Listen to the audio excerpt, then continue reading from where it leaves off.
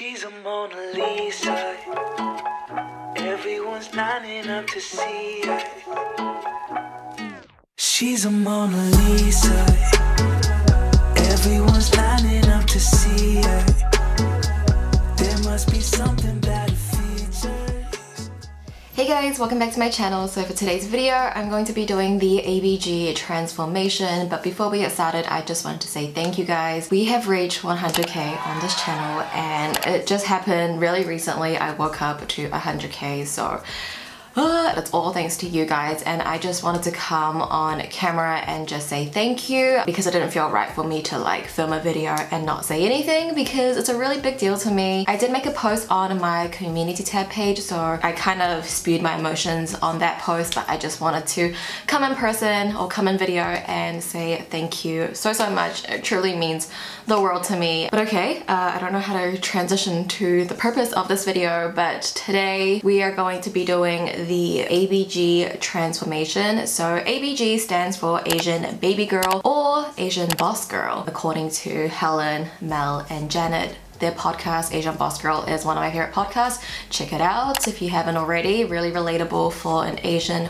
woman. So according to Urban Dictionary, ABG is a special type of Asian girl who enjoys going to clubs, partying and drinking with friends, loves to get boba and shop, usually an Instagram model, influencer or bartender, looks exactly like Dream America on Twitch, don't know who that is. So you might have seen this video trend go around. I believe Michelle Choi was the first person to start this ABG transformation. I also saw Sarah, Tina and Hana's video. I'll link link all those videos down below. I'm pretty sure you've already seen them. I grabbed a lot of criteria from their videos and I'm going to apply it to my video. So let's go through the checklist first and this checklist is literally the same checklist that Tina has. Again, I'll link her video down below. But the first thing on the checklist is long coffin nails. I just put these press on nails last night and these are just from Kiss. It's their Gel Fantasy Amazing Volume Look Ultra Smooth Shine. There isn't a shade name on it, but um, it's like this light baby pink and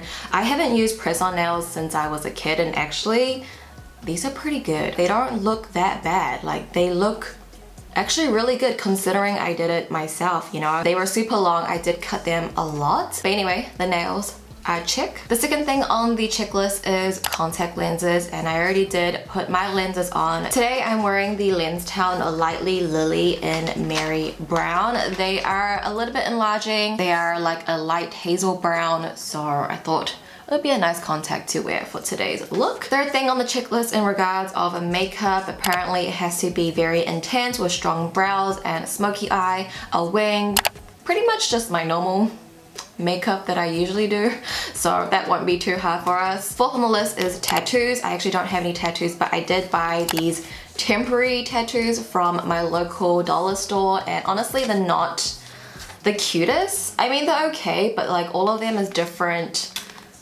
I don't know how I'm gonna make all of these work and they're like all different thickness as well but I got four of them and they were like a dollar each. And number five on the checklist is piercings. So I do have a couple of piercings. I have three on this side four on this side. I just got my cartilage pierced like two weeks ago on my birthday but I will take these like little pearls out and maybe put in hoops. And the next thing on the checklist is to wear tight slash exposing clothes. And the last thing on the list is bubble tea boba wherever you are and what you call it just pearls. Yes, I'm gonna ask my boyfriend to head out later and grab me my little drink. But yeah, that is pretty much the checklist. So let's just go ahead and get started with our makeup first. I'm gonna go ahead and start off with my primer slash sunscreen. This one is from Supergoop. It's their Unseen Sunscreen Broad Spectrum SPF 40. I actually haven't used the sunscreen in a while just because we have been in quarantine. But now that in New Zealand we are in level one and quarantine is pretty much over, everything has reopened. I've been wearing my sunscreen again. This sunscreen is hella expensive so I don't wanna like waste it. And for foundation, I'm going in with my ultimate favorite. This one is the Urban Decay All Nighter Foundation in 4.0. Amazing coverage and it's just the best foundation for me personally. And I'm gonna take this Kaleidos sponge. It's one of their new sponges. I've been testing it out for the past couple of days. Then I'm going in with the Too Faced Born This Way Multi-Use Sculpting Concealer in the shade Almond. I am going to use this and conceal pretty much my entire face. I'm gonna place this under my eyes and over any scarring that I have and where I just need a little bit more coverage. And I'm just gonna use that same sponge to blend that out.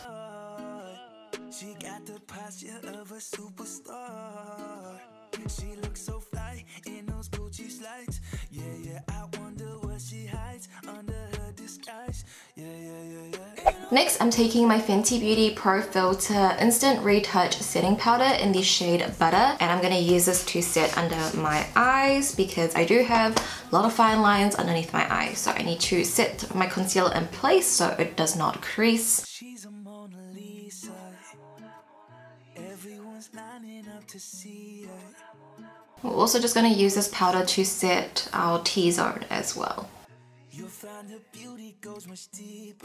I'm gonna take a bit of my AOA Perfect Finishing Pressed Powder in the shade Sand just to set the outer rim of my face. I'm gonna use a bit of the Morphe Continuous Setting Spray just to set in that powder. Now moving on to the brows, I'm going to make my brow shape a little bit more arched and pointy rather than a straight brow that I have been doing more recently. So I'm just taking my NYX Micro Brow Pencil in the shade Black and I'm just going to go underneath my brow and just create the shape that I want. And I'm just gonna take my Anastasia Brow Powder Duo in the shade Dark Brown to fill in my brows.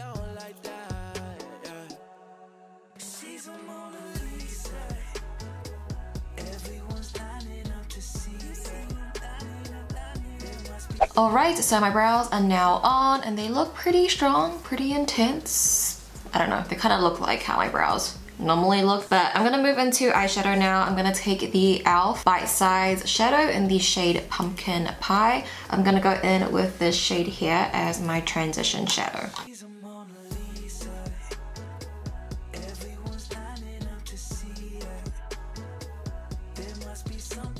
I'm also going to take that same shadow onto my lower lash line as well and I'm just going to smoke this out all over the lower lash.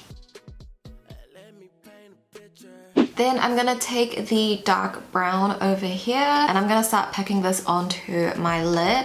I'll pack this onto my lid space first to get the most pigmentation and darkness and then I'll slowly blend that up into the transition shadow.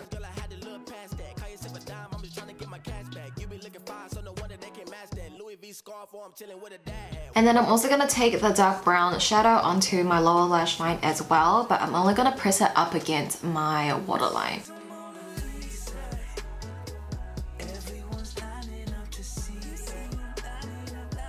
So that is pretty much it for eyeshadow. I'm just going to leave it like this, just all matte, no shimmer. I'm now gonna go into eyeliner. I'm taking the UZU Mote liner in black to give myself a dramatic wing. I did recently just upload a winged liner tutorial, so if you guys wanna check that out and um, learn the in-depth steps that I do, then you can check that video out somewhere here.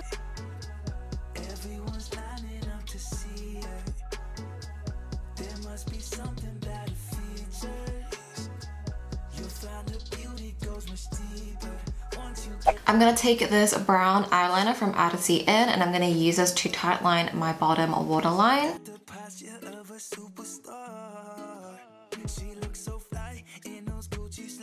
Alright, so now it's time to prep the lashes. It is just a must to apply false lashes. And for today's falsies, I'm gonna go in with the Petite Cosmetics Luxe Foam Mink Lash in the style Diva. They are pretty full all around and it's pretty dense. I love wearing these lashes when I wear an intense smoky eye. So these are the lashes I'm going to go in with today. I'm gonna give my lashes a good curl. And I'm gonna apply the Fenty Beauty Full Frontal Mascara.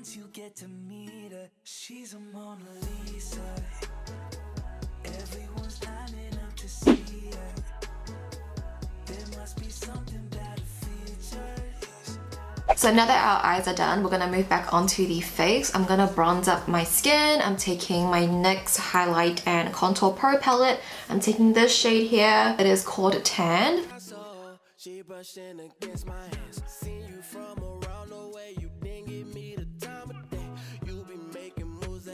I'm actually just gonna go in with a little bit of my Fenty powder from before and taking the flat edge of the sponge. I'm gonna just use this to sort of clean up that area. I know it's like really intense, but it makes your cheeks pop out more.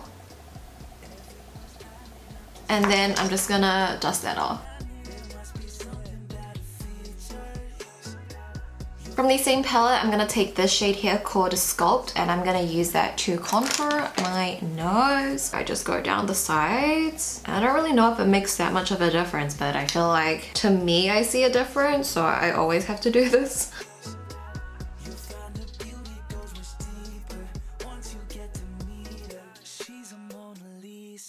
And for blush, I'm gonna go in with the Colourpop Super Shock Cheek in the shade Grow Flirt. I'm gonna use the bottom of the sponge and then I'm just gonna apply that to the tops of my cheeks. And for highlighter, I'm taking the Kaleidos Ray Rider Highlight and we're just gonna apply this to the tops of our cheeks.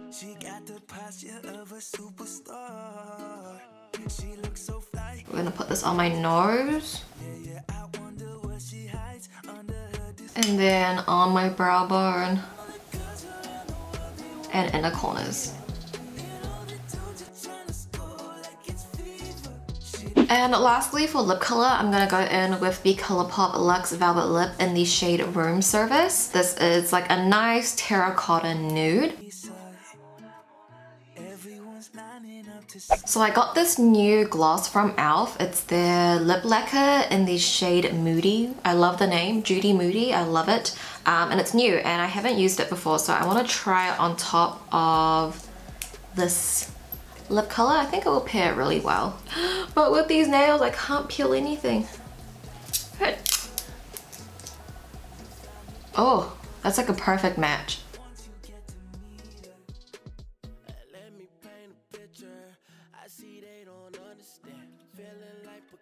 Okay, so makeup is done. I just told Harry to go pick up my drink, so that will be here soon. I'm gonna now do my hair. I think I'll just straighten my hair because I feel like when I curl my hair, it gives me more of like a girly vibe. And I don't know, from all the ABG looks that I saw, it's like really badass kind of vibe, you know? And I feel like with straighter hair, it gives me more of that vibe.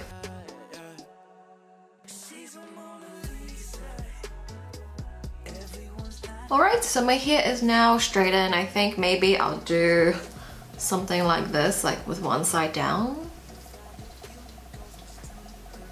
Maybe? We'll see. Um, I'm gonna go get changed to my tight exposed clothes and then I'll be right back. I decided to wear this top. It's from Hello Molly. Uh, Tina and Sarah wore similar tops so I thought I would wear this one, although it's not really that exposing. Now, what's left? I think I'll just take out my first piercing and just switch it out for hoops. It's hard to take earrings out with these nails.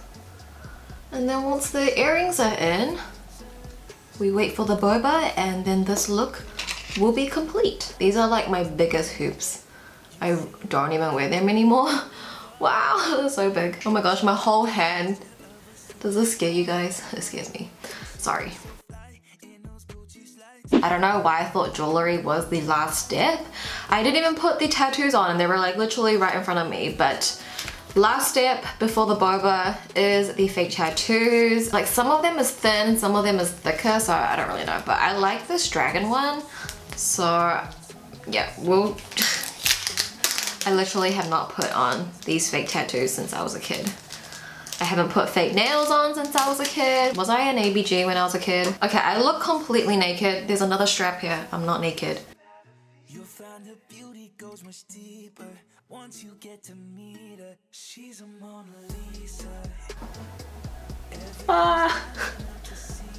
Oh, it looks like glad wrap.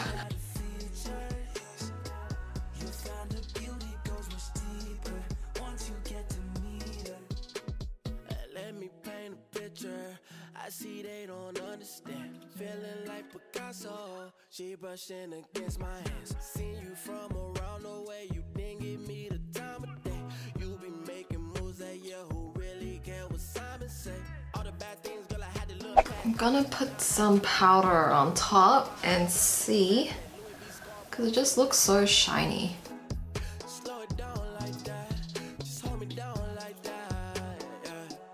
Alright you guys, so this is the full ABG transformation. We did the makeup, the hair, the jewelry, the tattoo, the nails, and we got the drink as well. So we did the entire transformation. So I hope you guys enjoyed this video. If you did, give it a thumbs up for me. I would appreciate it so much if you did. Also, let me know your thoughts down below in the comments. I personally feel like I don't look that different because this makeup is what I normally do. It's just I have some shiny fake tattoos on my shoulder but let me know what you guys think down below. Thank you guys so much for watching. Please subscribe if you haven't already. I love you guys and i'll see you in my next video.